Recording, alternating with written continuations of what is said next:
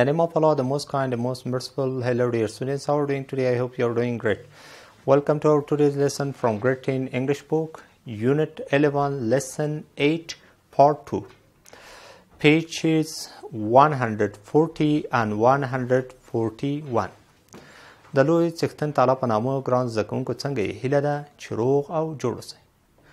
انګلیسي ټولګي ته ښه راغلاست ګران زکونکو لکه څنګه چې تاسو پوهیږئ د نن ورځې لوست مو د لسم ټولګي انګلیسي کتاب څخه یولسم څپرکی اتم لوست او دویمه برخه ده او تاسو به د خپلو کتابونو یو سلو څلوېښتمه او یو سلو یو څلوېښتمه پاڼه راواړوئ او راځئ چې د نن ورځې درس پیل کړو Dear students, before we start our today's lesson, let's take a short look what we have studied in the previous lesson. ګران زده کوونکو مخکې له دې چې نن ورځې درس پیل کړو ښه به وي چې تېرې ورځې درس ته یوه لنډه کتنه ولرو You know, my dear students, in the previous lesson we have studied one section review. ګران زده کوونکو لکه څنګه تاسو پوهیږئ د تیرې ورځې لوست کې مو یوه برخه ولوستله هغه هم د ریویو یا تکرار برخه وه ګران زده کوونکو تکرار په برخه کې موږ پرزنټ پرفیکټ کنټینیوس ټینس ولوست چې هغه نږدې ماضي جاری زمانه وه او دغه په جوړښت باندې هم پوه شو سټرکچر باندې هم پوه شو چې څه ډول جملې جوړیږي او په کوم ځای کې دا کارول کیږي اګران زکونکو چې له یاده مو ونځي چې برخه کې تاسو کورنۍ دنده هم درلوده کورنۍ دنده مو آباده کړئ بیا درس په وروستي شیبو کې ګوره نو ګران زده کوونکو د هغې زمانې کارونه ډېره مهمه ده چې کوم عمل په تېره زمانه کې پیلېږي او تر اوس زمانې پورې دوام لري هغه ته څه وایي موږ پرزنټ پرفیکټ کنټینیوس ټینس ورته نو دغه عمل چې لغه وخت ته پیلېږي تر اوسه پورې دوام ونی او دوام مومي او له دې وخت وروسته هم د دوام په حالت کې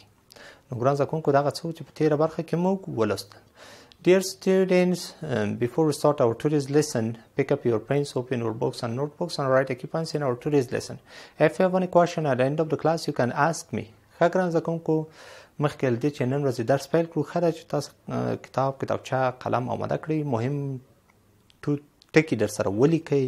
یاداښت کړئ او په کوم ځای کې چې له ستونزې سره مخ کیږئ یا کومه پوښتنه درته پیدا کیږي د هم د سرپنخه کړئ او د درس په وروستي شوبو کې وپوښتئ ترڅو ستونزه مو حل شي برای حمایت از ما چینل بیگم اکادمی را سبسکرایب کنید و سپس زنگوله را فشار دهید. تا به تمام ویدیوهای درسی ما دسترسی داشته باشید و از آنها مستفید شوید. My dear students, in today's lesson we are going to study two sections, review and vocabulary list. ګران زکونکو د نن ورځې لوست کې هم دوه برخې لرو یا دوه برخې لولو لومړی برخه د تک ریویو تکرار یا بیا کتنې برخه ده او دویمه برخه د لغتونو زیرمه ده نو ګران زکونکو آلته یو لیست د لغتونو څخه چمتو سوی دی نو دغه لیست یا لړلیک کې لغتونه راغلي او هغه به موږ هم ولولو Dear students, if you are ready, let's start our today's lesson. ګران زکونکو که چمتو یا مدعی راځي چې نن ورځې درس پیل کړو. ریویو Verb ing it means gerund هغه فعل چې ing بڼه ing ولري هغه د جرند یا مصدر نوم کار ته سره کوي په انګلیسي کې ګران زده کوونکو دغه فعل چې ing ولري او د نوم کار تر سره کړي هغه ته جرند وایي نو دلته په توضیحاتو کې هم همداسې ویلي دي جرند is the form of the verb which ends in ing and has the force of a noun and a verb وای مصدر د مصدر نوم چې ده دا د آینجی د فعل آینجی بڼه ده آینجی لري او د نوم یا د فعل کار تر سره کوي زیاتره ګڼو زده کوونکو دا نوم کار چې تر سره کوي بیا جرند په نوم یادېږي جرند can be used as subject object and object of prepositions جران کدای شي د سبجیکټ یا مبتدا په جای راسي یعنی جمله مبتدا واقع شي کدای شي آبجیکټ یا مفعول شي د جملې او کدای شي د اضافت توري آبجیکټ هم شي نو ګران زده کوونکو دغه ځای کې جرن کارول کیږي نو ګران زده کوونکو د ریویو یا تکرار په برخه کې راځي دا بیلګې ولولو چې کوم ځای کې دا سبجیکټ ده کوم ځای کې دا جرن د ابجیکټ ده کوم ځای کې د اضافه توري د ابجیکټ په توګه یا مفعول په توګه راځي نو ګران زده کوونکو وربشو لومړی بیلګې ده Playing tennis is a good exercise. د ټینس لوبول یو ښه تمرین دی ګران زده کوونکو پلینګ ټینس دلته ګران زده کوونکو له ټینس نه مخکې پلینګ راغلی او دلته دغه موقعیت د جملې مبتدا یا د فایل په توګه دی ځای کې کارول کیږي نو دویمې جملې ته راځو ګران زده کوونکو having an x-ray is important to diagnose your disease نو وای د اکسرې اخیستل چې دي دا مهم دي ترڅو هغه مرض مو تشخیص شي یا وپیژندل شي نو ګران زکونکو دلته ګورو چې همدغه هاوینګ جران دی هاف درلودل د فعل دی ول ان جی باندې دلته د نوم کار تر سره کوي ځکه دلته د نوم نه مخکې ل ایکسترین ایکسترین چې مخکې راځي دلته د صفت په توګه راځي ځکه د نوم معنا بشپړوي په دې ځکه او دا هغه ګران زکونکو کارونه دلته څو کارونه لري نو قوانین چې ولولې نو بیا خپري پوهیږي children love making mud castles نو د ماشومان خوخیږي چې له خټو څخه کورونه جوړ کړي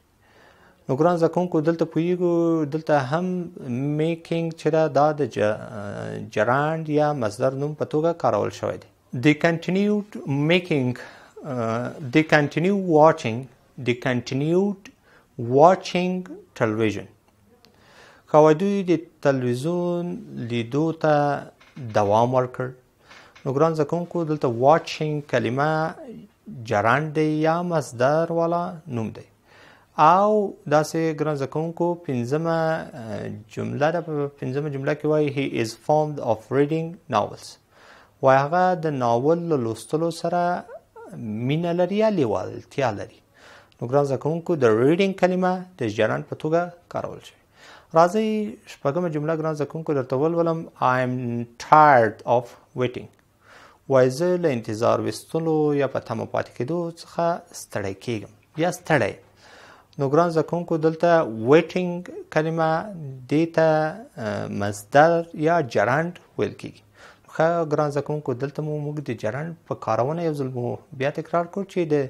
په انګلیسي ژبه کې verb plus ing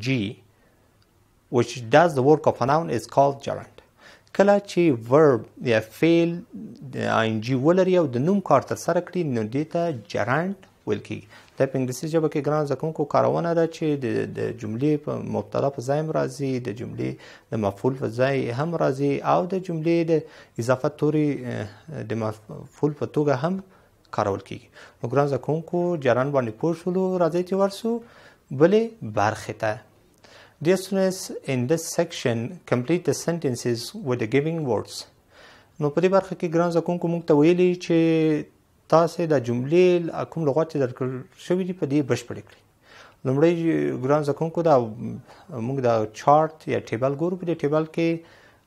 موږ ته لغات راکړل شوی لومړی لغات Writing, making, telling, having, playing, watching نو ګران زده کوونکو تاسو به مو پنسلونه آماده کړئ او راځئ دغه برخې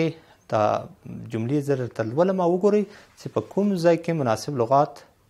یا د کلمې کارول شوي نو ګران زکو که آماده یې خای قلمونه مو راواخلئ زه جملې درته لولم تاسې وګورئ چې کومې جملې دي او کوم په دغو جملو کې کوم لغات کارول شوي لومړی جمله د ګران زده کوونکو واچینګ ټو مچ ټي وي هارمز یور آیز د تلویزیون زیات لیدل سترګو ته زیان رسوي دویمه جمله د ګران زده کوونکو having a complete breakfast is useful for health نو د سهار چای په مړه ګډه خوړل یا خوړل چې د صحت لپاره د صحت لپاره څه دي ګټور دي او ګران زده کوونکو بله جمله ده سټاپ پلینګ دا لنډه جمله ده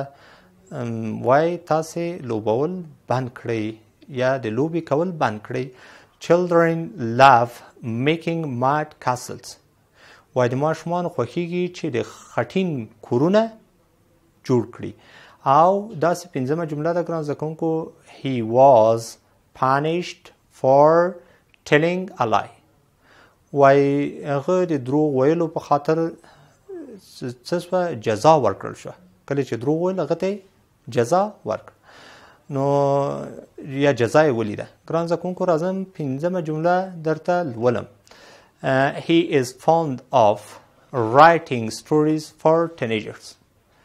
وای هغه لیوالتیا لري چې د ماشومانو یا نوې تنکۍ ځوانانو لپاره کیسې ولیکي یعنی دغه لیکلو د کیسو لیکلو سره چی لري لیوالتیا لري ښه ګران زده کوونکو په دې برخه کې تاسو پوه شوئ چې کومې کلمې په کومو جملو کې وکارول شوې ګران زده کوونکو راځو بلې برخې ته په بله برخه کې وکابلري لیست یا د لغتونو زیرمه ده دلته یو لیست ترتیب شوی ده ګران زده کوونکو په دویم برخه کې راځئ دا کلمې به زه درته ولولم او تاسې معنا ولیکئ ناونز نومونه دي اکامډیشن د اوسېدو ځای یا استوګن ځای ته وایي اډوانټیج ګټه اپلیکیشن غوښتنلیک چمپیون اتل ډیزاینر ترتیب کوونکی اکسکورژن تفریحي ګرځېدنه امیګرانټ مهاجر Possibility، امکان یا اسانتیا ته هم ویل کیږي ګران زده کوونکو ریلیټیو خپلوان او د فعل برخه ده ګران زده کوونکو وربس ډیزاین ترتیبول ډیزاین کول امپروو پیاوړي کول پرمختګ ورکول ریکګنایز پیژندل او داسې شیر شریکول اډجکټیوز صفتونه Random ناټاکلی یا ناڅاپي several څو ځله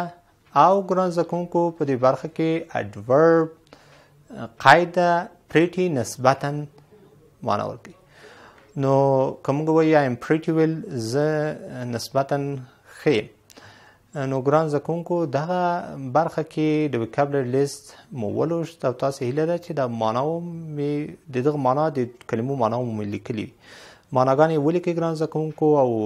زده کړئ تمرین کړئ پریکټیس کړئ تر څو وکابلری مو قوي شي نو ګران زکونکو راځو خیدنن ورځې د درس راټولو